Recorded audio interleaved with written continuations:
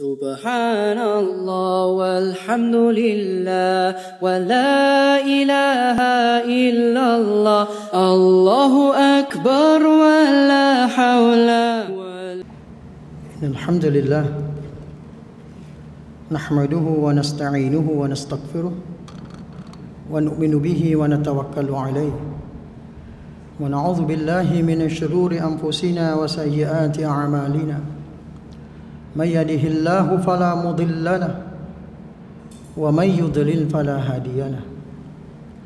وأشهد أن لا إله إلا الله وحده لا شريك له وأشهد أن محمدا عبده ورسوله. اللهم صل وسلم وبارك على عبدك ورسولك محمد وعلى آله وصحبه. ومن تبعهم بإحسان إلى يوم الدين. أما بعد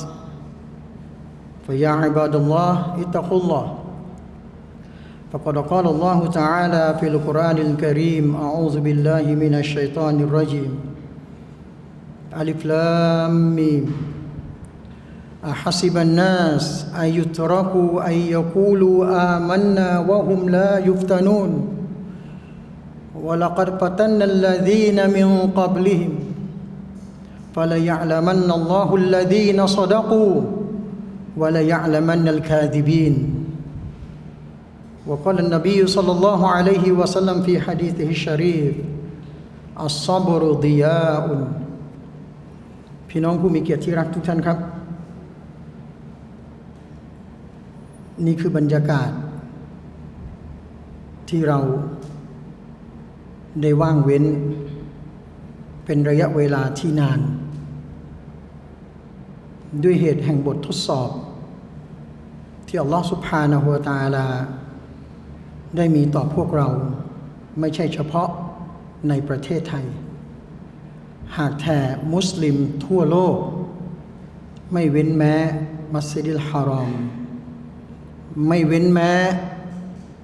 สถานที่ที่มีความสำคัญมัสยิดที่ถือว่าสำคัญที่สุดในโลกอิสลาม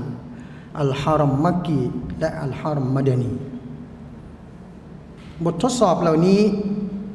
สะท้อนตัวตนของเรา ว่าเราจะยังเป็นผู้ที่พักดี และเป็นผู้ที่ยำเกรงต่ออัลลอฮฺตาอาลาหรือไม่ ถึงแม้ว่าสภาวะการ จะทำให้เรา ไม่สามารถที่จะมาทำอิบาดะอย่างเต็มรูปแบบอย่างที่เราเคยปฏิบัติมาในช่วงเวลาที่ผ่านมา พี่น้องผู้มีเกียรติที่รักครับ ที่ผ่านมาเป็นบท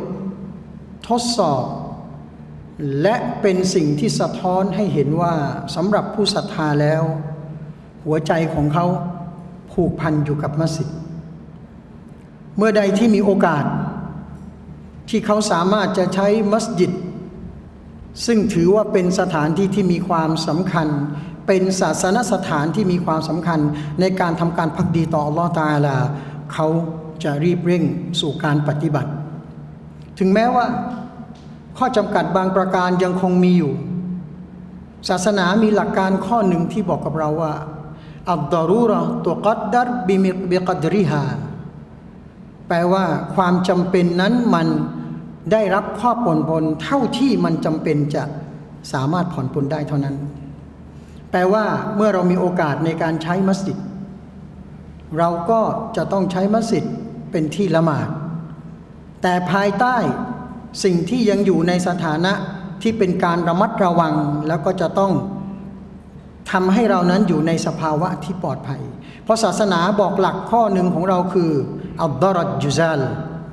อันตรายมันจะต้องถูกขจัดไป และภายใต้กฎดังกล่าว มีกฎอีกข้อหนึ่งอัลดารุรอตุบิฮุลมหซูรอดสิ่งที่เป็นความจำเป็นจะไปลดหย่อน สิ่งที่มันเป็นภาวะไม่ปกติ ภาวะที่มันคับขันนั้น มันก็จะไปยกเว้นสิ่งที่เป็นข้อห้ามฉะนั้นพี่น้องผู้มีเกียรติที่รักครับ เมื่อเป็นเช่นนี้ เราอยู่ในหลักการที่ศาสนาได้อนุมัติให้เราปฏิบัติ ขอบเขตแค่ไหน เราปฏิบัติเยี่ยงนั้น คุตบะสั้น ๆ วันนี้ในช่วงเวลาแบบนี้นั้น เราก็จะใช้พื้นที่ของมัสยิด การละหมาดวันศุกร์ในการที่จะสะท้อนสิ่งที่เป็นคำสอนและหลักการ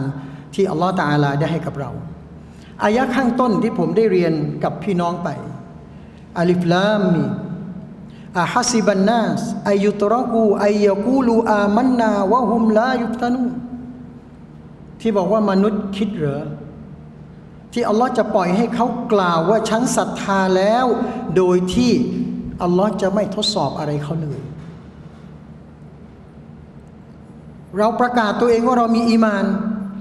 เราประกาศตัวเองว่าเราเป็นผู้ศรัทธาในอัลลอฮ์ตาลา ในอายะนี้ได้บอกกับเราว่าอาฮัสิบันนัสอายุตรกูอายกูลูอามันนาวะฮุมลายุตานูนใครก็ตามที่ประกาศตนว่าอีมานต่ออัลลอฮ์สุบฮานาวตาลา ให้เตรียมไว้สำหรับบททดสอบที่จะได้รับจากอัลลอฮ์สุบฮาตาลา แล้วอัลลอฮ์ตาลาได้ตรัสต่อว่า และแท้จริง พระองค์ได้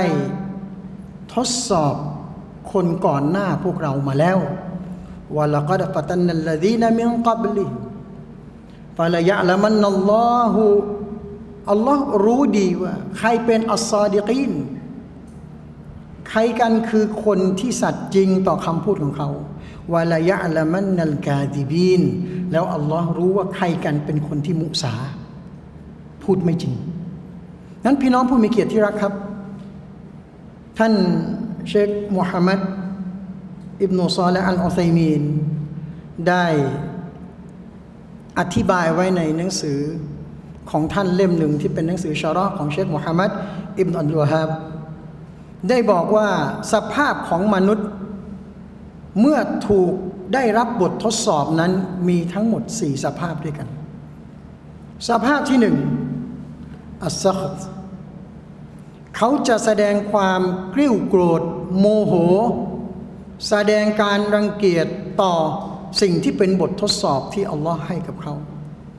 บางทีความโกรธของเขาเกิดขึ้นภายในจิตใจ เกิดขึ้นจากคำพูด หรือเกิดขึ้นจากพฤติกรรมจากการกระทำนี่คือกลุ่มที่หนึ่งอัสซัคแสดงความโกรธ เมื่อได้รับบาลาได้รับบททดสอบ ก็จะแสดงอาการเหล่านี้ออกมา คนกลุ่มที่สอง อัสซับรมีความอดทน แต่เป็นความอดทนภายใต้ความรู้สึกที่รังเกียจต่อสิ่งที่เกิดขึ้นกับชีวิตของเขายักระยักระวยตะฮัมมันวยัสบิรคนกลุ่มที่สองนี้